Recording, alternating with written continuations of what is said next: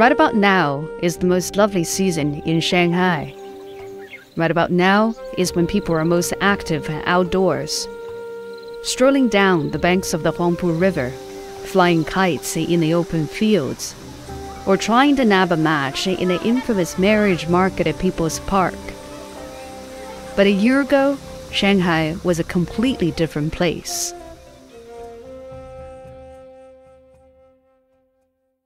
所有人员足不出户，人员和车辆只进不出。 Everyone to stay at home.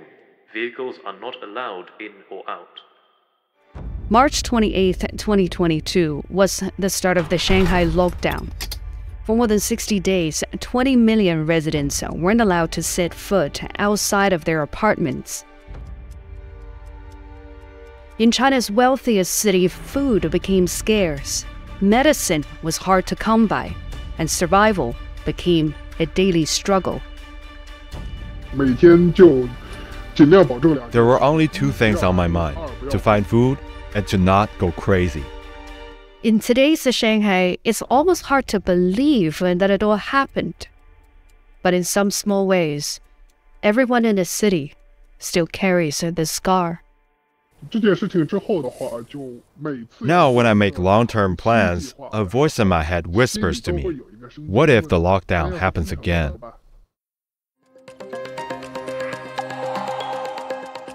My name is Wei Du, and I'm a foreign correspondent with CNA.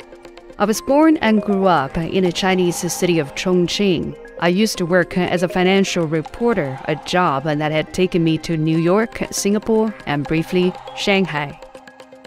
Now I'm based in Hong Kong, the business gateway to China. To be honest, the mainland China of the past three years bears little resemblance to the country I knew. That is why I wanted to do this podcast to understand and remember what the people went through and how the last three years might have fundamentally changed China as we know it. This is Red Wall Inside China's Zero COVID World, a two part podcast where I trace the steps of people whose lives were dramatically altered by China's zero COVID policy and who are still grappling with the sudden end of it all. Many of them have shared their stories on social media, and that's where I found them. I've also verified the accounts you will hear in this podcast. This includes checking their timestamps and geotags on the photos and videos they shared with us.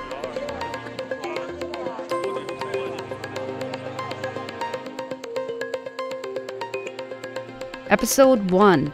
And just like that, the rain stopped. There was a point last summer when it seemed China would never return to its pre pandemic days.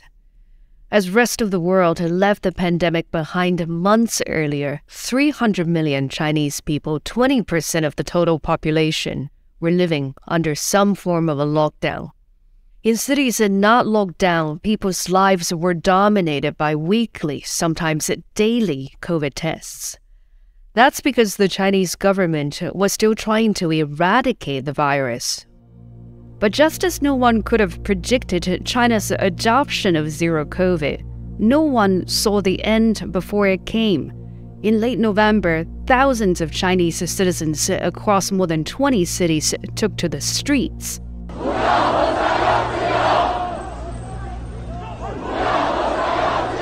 We want freedom, not COVID tests, they chanted. We want dignity, not lies. It was the largest protest in China in more than 30 years, and it worked. In just a few days, lockdowns ended. COVID testing booths torn down. And just like that, the end came. But the people were confused. Long lines formed outside the very few remaining testing booths. Older residents bolted the metal gates that had locked them into their homes. Suddenly, everyone was catching COVID, and the authorities were unprepared. Painkillers were rationed. Emergency rooms filled up. Crematorians had to give out queue numbers as the bodies kept piling up. Officially, China recorded less than 100,000 COVID deaths, but estimates from scientists came in far higher than that. A team of epidemiologists at the University of Hong Kong estimated that by the end of January, just eight weeks after the policy U turn, COVID had already killed 970,000 people in China. To get a sense of how bad things looked on the ground, we spoke to a doctor in Shanghai in early February. He's not allowed to speak to the media, that's why we will call him Hammer, which is his online moniker. Hammer works at a major hospital with over 1,000 beds. By then, hospitals had gone through the worst. He talked about what he had to go through in January this year. For as long as I'd been working, this was the busiest I'd been. The number of patients turning up at the hospital was unprecedented. Even the corridors were filled with patients. The last time I had seen something similar, I was still little. It must have been 20 years ago. In the past 20 years, hospitals were rarely so crowded. This was the first time in 20 years I'd seen people sleeping in corridors.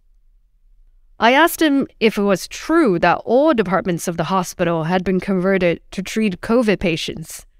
That was what I was reading online. People were saying that patients went in for COVID but were seen by orthopedic surgeons. When the respiratory department ran out of beds, and orthopedics still had plenty, it was only natural that they made them available to COVID patients. So when the patient came in, he would have been seen by a respiratory doctor, but his routine care would be provided by the orthopedic doctors and nurses because respiratory doctors were too busy. I asked if he saw the body count increase during that period of time. It's actually a bit complicated. We saw far more deaths than usual in a short period of time, but I'm not sure whether that was because the death rate was high, or it was a matter of squeezing a whole winter's death into one week. Right now, I still can't tell. But the truth is, I feel things weren't as bad as we had thought it would be. I had thought we could have a situation similar to what happened in Europe and the US in 2020 or 2021, that we would have so many severe cases we could run out of ICU beds and ventilators. I thought we would even run out of oxygen, like some poor countries did. In the end, that didn't happen. I want to thank the virus for letting us off easy. Wait, three, two, one. Can you hear me? I first got in touch with Hammer in early December when China had just abandoned zero COVID, because that had meant a major shift in his life. There will be no more nostrils to swab, which was what he did for months. I remember it was when Shanghai was just locked down on April 1st or 2nd. In my work chat group, the hospital was enlisting doctors and nurses for PCR sample collection. So I became a dabai. Before we go any further, it's worth pausing for a second to explain what is a dabai. It was initially the Chinese name for the Disney character Baymax. For those who haven't seen the cartoon, Baymax is a white inflatable healthcare robot who's partial to nagging. When COVID first came, people in China started calling the COVID swabbers in hazmat suits dabais. In the first two years, when COVID raged around the world, residents in China lived in relative calm, so dabais were universally respected. So much so, there was a genre of videos on Chinese social media of young children, clearly put up by their parents, dancing to a melodramatic tune before dabais to thank them for keeping the country safe. And the truth is, before Omicron hit, China was very successful at cutting off transmission through community lockdowns and universal testing. So to become a dabai wasn't a difficult decision at the time. There are more than 20 million residents in Shanghai. If they all needed to be swapped once, I was wondering how long would that take? So I thought, fine, I'll go. Let's get this over with.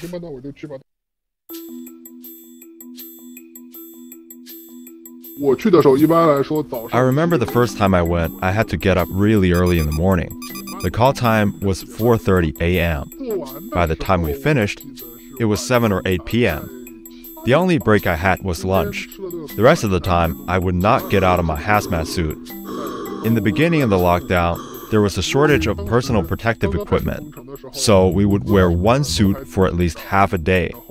You really had to try not to drink water because every time after you had gone to the bathroom, you needed a new hazmat suit.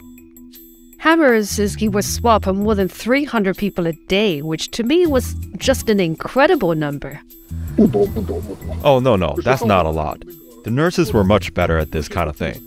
They worked like robots on an assembly line. If it was a well organized neighborhood and everyone was cooperative, they could swap 500 to 600 people a day. Hammer was hoping he will only have to be a dabai once or twice because, as a trained medical doctor, he knew it wasn't realistic to eradicate Omicron like China did with the past variants. I thought lockdown and test was a useful tool to gain knowledge of the virus, like transmissibility and virality. With this knowledge, we could make better decisions like targeted vaccination and expansion of ICUs. So I thought the sooner we finished one round of mass testing, the faster we could end the lockdown. I had no idea it would last three months. Because Dabais were exhausted and began treating people poorly, public opinion towards them was shifting. During the height of the lockdowns, some Dabais were filmed forcing their way into people's homes, trashing the place in the name of containing the virus. In one case, battering a pet dog to death, and in another, pinning a father to the ground in front of his children. The hazmat suit that was once seen as cute and clumsy now symbolized, at best, a painful routine people had to put up with, and at worst, pointless cruelty. Across the table, you and I were both just a number. There was no dignity to speak of. On your side of the table, people came and went. On my side of the table, work never ended. There was no time to think.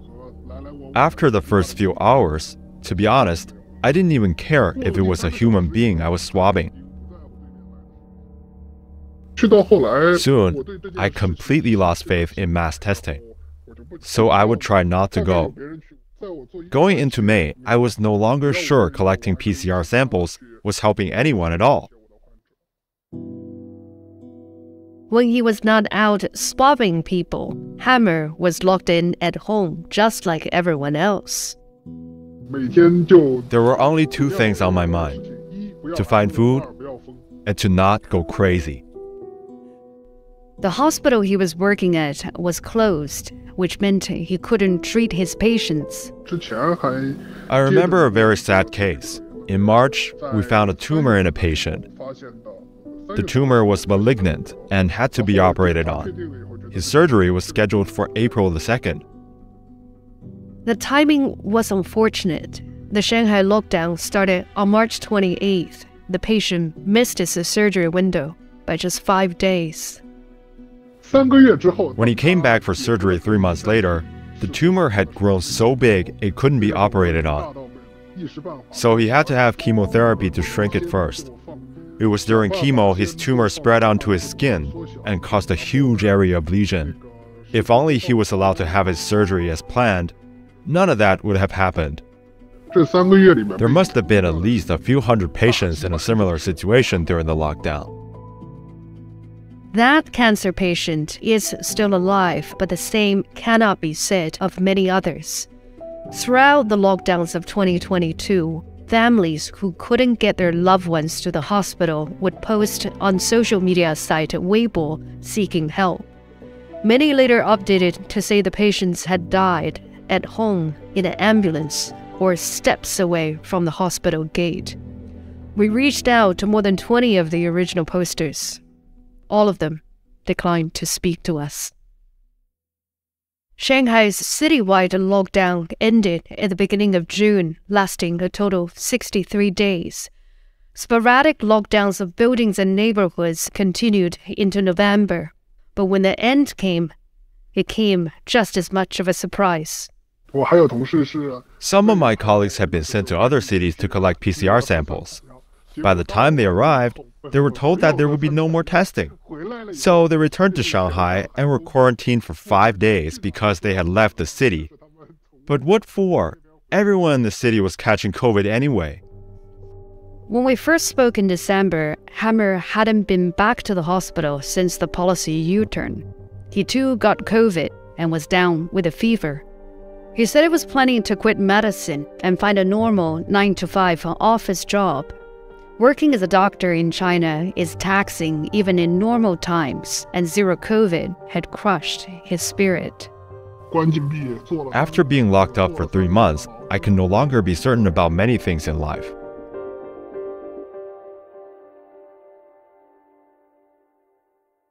Throughout his months of poking into people's nostrils, Hammer knew it was a fruitless exercise. That's one thing you might find a little hard to understand that so many people knew they were doing something completely irrational, yet no one wanted to say anything.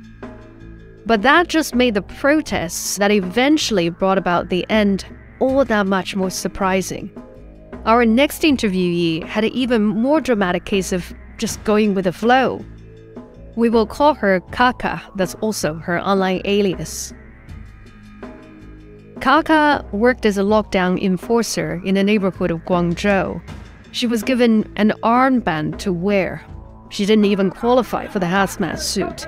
But just that little armband, it gave her a magical power that till this day she struggles to understand.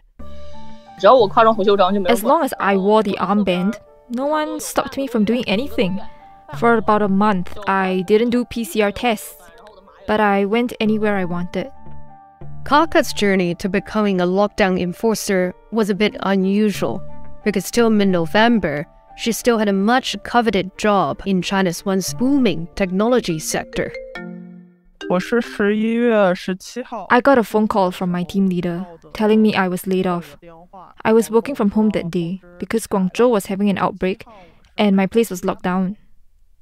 Job cuts were quite common since 2021, you see it on social media all the time. As far as I know, all the tech firms in China had to cut jobs. It was Kaka's first job, so even though she saw it coming, she still took it hard. It was a Wednesday when I received the call. Then I started drinking. For the next three days, I would drink, throw up, fall asleep, get up and drink some more. 然后完了之后那天就看到公众号， On day four, I saw on WeChat that the village was hiring temporary security guards for about 150 yuan a day. I thought it would be an easy job, so I signed up. Kaka lives in an urban village in Guangzhou. In the early parts of China's urbanization, cities often outgrew their boundaries into rural areas. Sometimes urban planning couldn't catch up, so the villagers held on to the land and their low rise homes, even when the surrounding areas are full of shiny skyscrapers. These urban villages aren't terribly pleasant places to live, but rents are low, so young people and migrant workers tend to cluster there. And unlike other parts of the city, they're still run by the village committees. Their members are often families who had lived there for hundreds of years. 然后我们那个 there were 68 guards. Some were villagers who came because the village committee told them to. I think they truly believed they were protecting their homeland. The others were temporary workers, like me. Some of them were migrant workers. They had jobs in garment factories, electronics factories, or restaurants. But because of the lockdown, they couldn't get out so becoming a security guard was a way to make up for the lost income.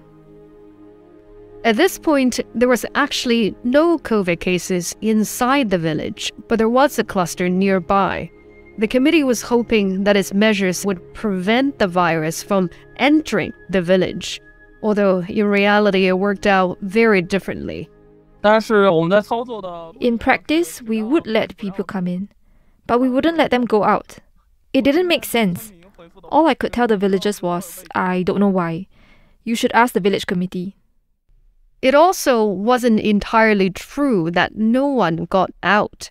In the videos Kaka took on a job, delivery riders came and went. In terms of pandemic control, I thought the lockdown was completely useless. There was no way that could have stopped the virus. By then, the entire country was tired of COVID controls, and people no longer hid their disdain for the enforcers.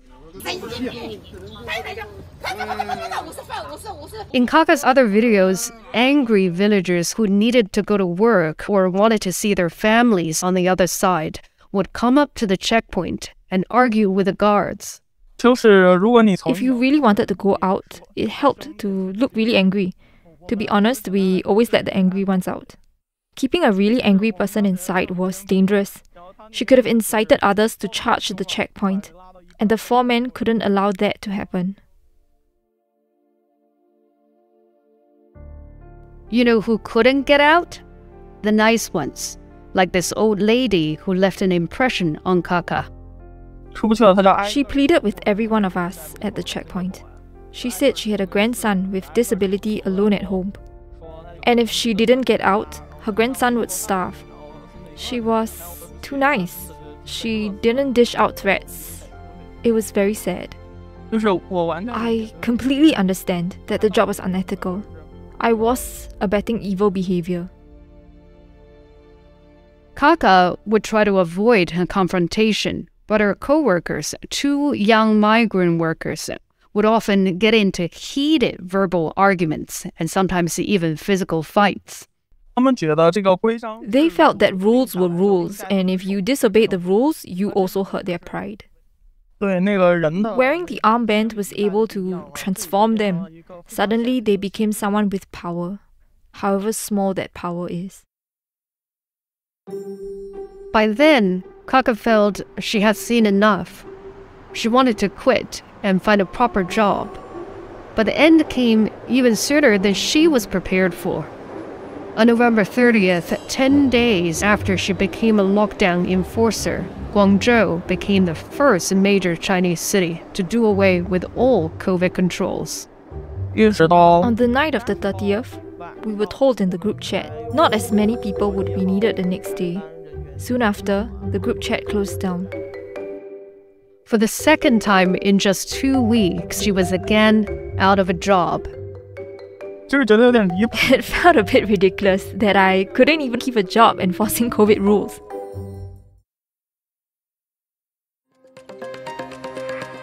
Kaka says she's given up on planning a career and will just do whatever jobs that come her way because she feels there's so little she can actually control. And that seems to be consistent with how our interviewees all think. For the first time in their adult lives, the future is not as clear anymore. And it's not just frustrating, but soul crushing. The last three years living under China's zero COVID policy has changed their outlook on life and made them rethink ambitions. Because who knows when their lives will be upended again in the next episode of Red Wall Inside China's Zero COVID World, I speak to two people who suddenly found that the longest journey in the world was the road back home. This podcast is written and produced by me, Wei Du. My co producer is Anderson Shah. Editing by Tiffany On and Crispina Robert, and sound design by Saye Wen. Thanks for listening.